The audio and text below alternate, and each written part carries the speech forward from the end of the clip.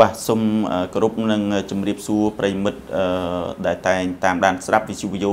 105.5 MHz និងតាមរយៈ page Facebook Video FM ជាទីមេត្រី បាទនីតិស្វែងយល់ពីច្បាប់នៅសប្តាហ៍នេះយើងលើកយកពីបញ្ហាការដណ្ដើមការកាន់កាប់មធ្យោបាយដឹកជញ្ជូនហើយបញ្ហានេះ ក៏ជាបទល្មើសព្រហ្មទណ្ឌផងដែរហើយយើងមានលោកមេធាវីសុកសំអឿនមកបកស្រាយនៅក្នុងនីតិស្វែងយល់ពីច្បាប់របស់យើងនៅសប្តាហ៍នេះទៀតបាទសូមគោរពលោកមេធាវីបាទបាទអរគុណច្រើនលោកមេធាវីដែលឆ្លៀតពេលដ៏មានតម្លៃមកដល់កិច្ចសម្ភាសដល់វិទ្យុយោនៅក្នុងនីតិស្វែងយល់ពីច្បាប់នៅសប្តាហ៍នេះជាដំបូងមុននឹងឲ្យលោកមេធាវីបកស្រាយនៅក្នុងអត្ថន័យនេះខ្ញុំចង់ឲ្យលោកមេធាវីផ្ដល់និយមន័យដោយម្ដេចដែលហៅថាការប៉ះពាល់ដល់សេរីភាព អ្នកដតីកាលពីសប្តាហ៍មុនហ្នឹងយើងបានលើកឡើងអំពីបទល្មើសការឆាប់និងការឃុំឃាំងនិងការបង្ខាំងមនុស្សដោយខុសច្បាប់ម្ដងហើយសប្តាហ៍នេះខ្ញុំលើកពីតកតងទៅនឹងការដណ្ដើមការកាន់កាប់មធ្យោបាយដឹកជញ្ជូនពាក់ព័ន្ធទៅនឹងករណីការប៉ះពាល់ទៅដល់សេរីភាពអ្នកដតីនេះផងដែរអឺតើ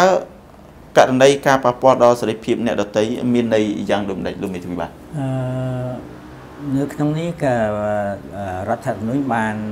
តម្រូវឲ្យរដ្ឋនឹងធានាដល់ប្រជាពលរដ្ឋឲ្យមានសិទ្ធិសេរីភាពក្នុងការដើរហើរក្នុងការធ្វើចលនាអញ្ចឹងណាហើយដូច្នេះបើសិនបើជនណាម្នាក់មួយដែលធ្វើធ្វើអំពើអ្វីមួយដែលប៉ះពាល់ឬក៏បិទសិទ្ធដើរហើរបិទសិទ្ធការធ្វើចលនារបស់ប្រជាជនអានឹងគេហៅថាការធ្វើឡើងបំពេញសេរីភាពសិទ្ធិសេរីភាពអ្នកដទៃហើយបាទ តើការដណ្ដើមការកាន់កាប់មធ្យោបាយដឹកជញ្ជូនហ្នឹងមានន័យយ៉ាងដូចម្ដេចនៅក្នុងក្រមព្រំប្រទានលោកមេធាវីបាទអាហ្នឹងគឺមានន័យចែមានន័យអូថថាលើឡានដឹកអ្នកដំណើរមួយគ្រឿងអញ្ចឹងទៅធ្វើដំណើរអញ្ចឹងទៅស្រាប់តែមានចោលមានអីហ្នឹងប្លន់ឡានហ្នឹងហើយដណ្ដើមឡានហ្នឹងយកទៅអាហ្នឹងគេហៅថាការដណ្ដើមកាន់កាន់កម្មមធ្យោបាយដឹកជញ្ជូនហើយហើយបើសិនជាក្នុងឡាននោះមានប្រជាពលរដ្ឋច្រើន ធ្វើដំណើរជាមួយនឹងឡាននោះអាហ្នឹងវាអាចអាហ្នឹងគឺចូលបត់ដណ្ដើមកម្មកម្មជួបបាយទៅជញ្ជូនហើយបាទក៏ប៉ុន្តែបើសិនជាពេលដណ្ដើមនោះគាត់អាចប្រើកម្លាំងគឺឬក៏ប្រើហិង្សាអីផ្សេងផ្សេងទៀតអាហ្នឹងបើសិនជាមានភេសនកម្មដល់អ្នកធ្វើដំណើរភេសនកម្មដល់អ្នកបើកបរអាហ្នឹងត្រូវមានស្ថានទម្ងន់ទោសគិតតាមនោះទៀត បាទចុះក្នុងករណីឧទាហរណ៍ថា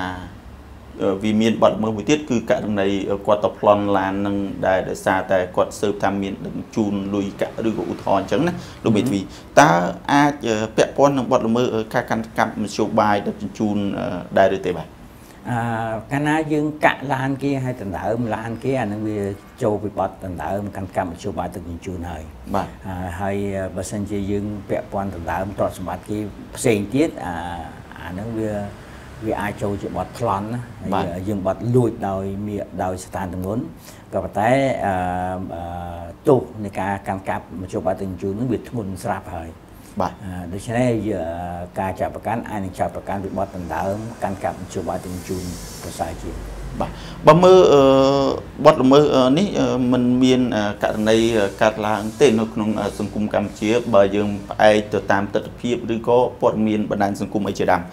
តើវាជាអត្តពលយ៉ាងណាខ្លះទៅអ្នកច្បាប់ចែកអំពីបទល្មើសហើយតកតងនឹងដណ្ដើមការកាន់កាប់មធ្យោបាយដឹកជញ្ជូននេះបាទអឺ ដោយសារចេះដោយសារបើសិនជាមានអំពើនឹងកើតឡើងវាអាចប៉ះពាល់ដល់សិទ្ធិអ្នកច្រើនអ្នកជាពិសេសអ្នកធ្វើដំណើរច្រើនអ្នកច្រើនអ្នកនៅក្នុងរថយន្តហ្នឹងណាបាទហើយដូច្នេះបានជាអ្នកច្បាប់ហ្នឹងគេធ្វើច្បាប់ហ្នឹងឡើងក៏ប៉ុន្តែគាត់ជាតថភាពពិតប្រាកដដូចជាកម្រដូចខ្ញុំមិនដែលឃើញមានបទល្មើសនឹងកើតឡើងទេបាទ តើការប៉ះពាល់ដល់សេរីភាពអ្នកដតីនិងបទល្មើសដណ្ដើមការកាន់កាប់មធ្យោបាយដឹកជញ្ជូនមានចែងនៅមាត្រាប៉ុន្មានដែរលោកមេធាវីបាទគឺចែងនៅនៅក្នុងមាត្រា256ហើយយើងមានស្ថានទម្ងន់អឺមានស្ថានអូថបើសិនជាមានការធ្វើឲ្យជនរងគ្រោះមានពិការឬក៏កាត់អវយវៈអីក្តីអាចទៅទទួល ទោសស្ថានទម្ងន់តាមមាត្រាមាត្រា257ហើយទណ្ឌកម្មអាចឈានដល់10ឆ្នាំទៅ20ឆ្នាំអញ្ចឹងណាបើសិនយើងគាត់ដើមកាន់កម្មនយោបាយធម្មតាតាមមេតា256មានទោសតែ5ឆ្នាំទៅ10ឆ្នាំទេក៏ប៉ុន្តែបើសិនយើងធ្វើឲ្យមានរបួសស្នាមរហូតដល់កាត់អវយវៈឬពិការអានឹងអាចមានទោសដល់10ទៅ20ឆ្នាំហើយបើសិនជាធ្វើទារុណកម្មខុសខើអានឹង តាមមេត្រាមេតា258ក៏តែមានទោសត្រឹម15ទៅ30ឆ្នាំដែរបាទបាទអរគុណច្រើនលោកមេធាវីសុកសំអឿនដែលឆ្លៀតពេលឲ្យខ្ញុំបាទធ្វើបទសម្ភាសន៍នៅក្នុងនីតិស្វែងយល់ពីច្បាប់ដល់នៅសប្តាហ៍នេះទៀតអឺប្រសិនបើអស់លោកអ្នកស្ដាប់ចង់ពិភាក្សាពីបញ្ហាផ្លូវច្បាប់ជាមួយលោកមេធាវីសុកសំអឿនអាចទំនាក់ទំនងលោកមេធាវីបានតាមរយៈលេខទូរស័ព្ទគឺ092 698 345បាទសូមគោរពនិងជម្រាបលាលោកមេធាវីបាទ